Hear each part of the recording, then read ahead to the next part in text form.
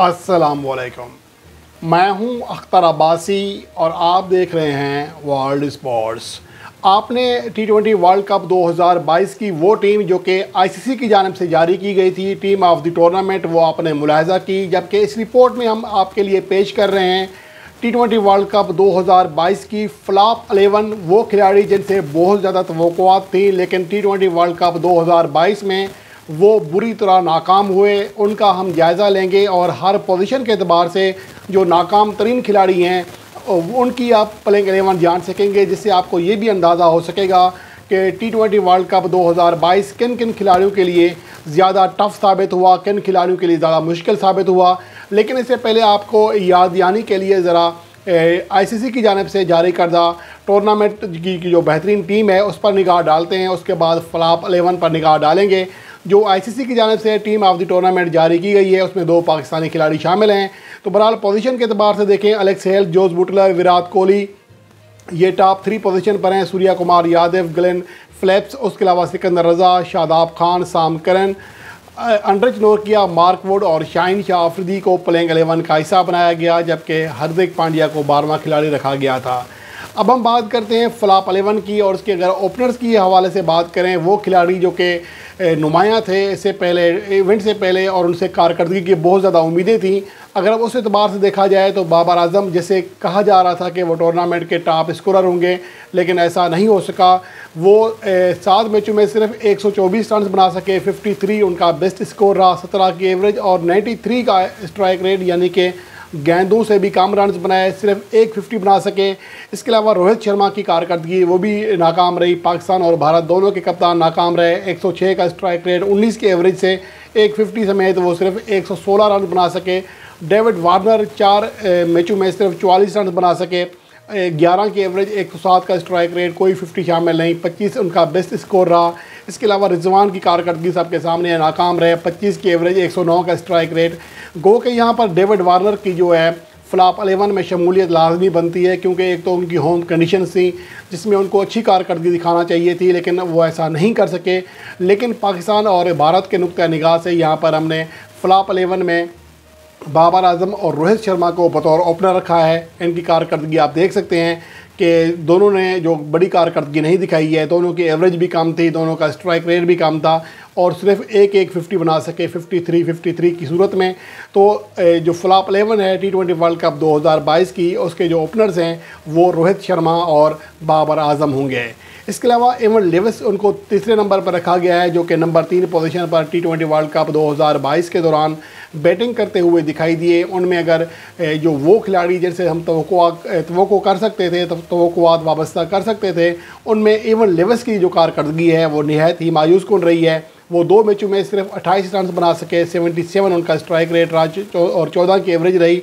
दोनों मैचों में, जो कि एक मैच जिम्बाब्वे के ख़िलाफ़ था, दूसरा आयरलैंड के ख़िलाफ़ था, इन दोनों मैचों में वो 18-18 गेंदें खेल सके। एक मैच में 15 और दूसरे में 13 रन बनाए। इसलिए उनको नंबर तीन पोजीशन की जो फ्लॉप अलेवन है, उसमें ये नंबर दिया गया है। तो ये उनके लिए बड़ा सेट बैक था वेस्ट इंडीज़ के लिए। वो टी ट्वेंटी वर्ल्ड कप 2022 के जो मेन राउंड है, उसके लिए क्वालिफाई तक ना कर सकी। हालाँकि वो ऐसे पहले दुनिया की वह टीम थी इस टूर्नामेंट से पहले, जो कि दो बार टी ट्वेंटी चैम्पियन बन चुकी थी। तो इसके साथ साथ उनकी जो खिलाड़ी थे, उनकी इस तरह की, जिस तरह की एवन लेवस की कारकर्दगी है इस तरह की जो परफॉर्मेंस थी, उनका बड़ा किरदार था।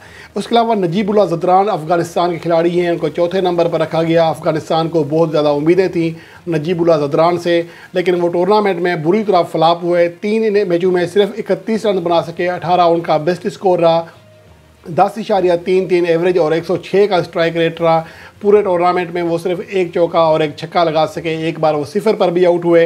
इस प्लेइंग एलेवन में अगर देखा जाए तो नजीब जदरान की इसलिए जगह बनती है कि अफ़गानिस्तान की टीम पूरे टूर्नामेंट में कोई मैच तक ना जीत सकी। और उसके कप्तान भी टूर्नामेंट के बाद उन्होंने अपनी कप्तानी से इस्तीफ़ा दिया और गुजशत टी ट्वेंटी वर्ल्ड कप में भी यही हुआ था टी ट्वेंटी वर्ल्ड कप दो हज़ार इक्कीस के बाद। तो ये सूरत हाल जो है, अब कप अफ़गानिस्तान के लिए आज से भी खासी मायूस कन है, जिनसे कहा जा सकता है कि वो टी ट्वेंटी वर्ल्ड कप की अच्छी टीम ज़रूर है, लेकिन शायद वो एशिया कप में या एशिया में खेले जाने वाले मैचेस में ही एक सख्त हरीफ साबित होती है। और उसके अलावा पाँचवें नंबर पर दैनिश कार्तिक हैं, जो कि फ्लॉप अलेवन के विकेट कीपर भी हैं। बुरी तरह नाकाम हुए टूर्नामेंट में चार मैचों में खेले, तीन इनिंग्स में उन्हें बैटिंग करने का मौका मिला। सिर्फ़ चौदह रन बना सके, सात उनका बेस्ट स्कोर था, चार इशारिया छः छः उनकी एवरेज रही, जो कि इंतहा कम है यानी कि पाँच रन फ़ी इनिंग से भी कम एवरेज रही।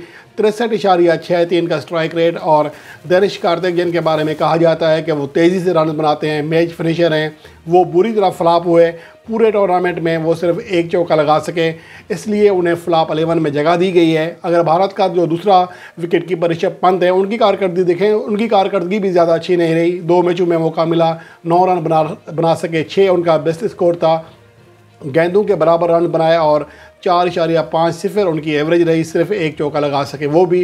लेकिन बहरहाल दिनेश कार्तिक को हमने फ्लाप अलेवन का हिस्सा इसलिए बनाया है कि उन्होंने ज़्यादा मैचेस के लिए ज़्यादा मौके मिले, लेकिन वो ख़ुद को साबित करने में नाकाम रहे। इसके अलावा शकीबुल हसन जो कि ऑलराउंडर हैं, उनको छठे नंबर पर रखा है। वो चार मैचों में सिर्फ़ इकतीस रन बना सके। बैटिंग में बुरी तरह फ्लाप हुए। तेईस उनका बेस्ट स्कोर रहा, सात इशारिया सात पाँच की एवरेज और इक्यानवे का स्ट्राइक रेट रहा। पूरे टूर्नामेंट में वो सिर्फ़ एक चौका लगा सके और बॉलिंग में उनकी कारकर्दगी कदर बेहतर ज़रूर रही। छः विकेट हासिल करने में कामयाब रहे थे, लेकिन इसके बावजूद उनकी जो बैटिंग कारकर्दगी है, उस पर बड़ा सवाल निशान था। अपनी टीम को वो नहीं नहीं संभाल सके। इवन कि उनको एक दो बार मौका भी मिला अपनी टीम को आगे ले जाने का, लेकिन वो नहीं ऐसा कर सके, जिसकी वजह से उन्हें फ्लाप अलेवन का हिस्सा बनाया गया है। और सातवें नंबर पर हैं अफ़गानिस्तान के कप्तान मोहम्मद नबी, जो कि फ्लाप अलेवन के भी कप्तान होंगे, जिन्हें तीनों मैचों में शिकस्त का सामना करना पड़ा। वो तीन मैचों में सिर्फ़ सत्रह रन बना सके। तेरह उनका बेस्ट स्कोर रहा, पाँच इशारिया छः छः उनकी मामूली एवरेज रही। एक सौ तेरह का स्ट्राइक रेट रहा और वो तीन मैचों में सिर्फ़ एक विकेट हासिल कर सके, यानी कि बैटिंग और बॉलिंग दोनों शोबों में वो बुरी तरह फ्लाप हुए टी ट्वेंटी वर्ल्ड कप 2022 के दौरान। इसके अलावा अगर अगले नंबर पर देखें अक्षर पटेल, जो कि जिनका ताल्लुक इंडिया से है, वो बॉलिंग में बुरी तरह फ्राप हुए। पाँच मैचों में सिर्फ़ तीन विकेट हासिल कर सके, दो अठारह उनकी बेस्ट कारकर्दगी रही। फ़ी विकेट के लिए अड़तीस से ज़्यादा रन दिए और फ़ी विकेट ओवर जो है आठ इशारिया छः तीन उनका इकनॉमी रेट रहा, जो कि इंतहाई मायूस कन रहा और फ़ी विकेट के लिए छब्बीस से ज़्यादा गेंदें फेंकी। यानी कि एक मैच में एक बॉलर चौबीस गेंदें करा सकता है तो फ़ी मैच उनकी एक विकेट भी नहीं बनती। तो इस बुरी कारकर्दगी के सबब उन्हें फ्लाप अलेवन का हिस्सा बनाया गया है।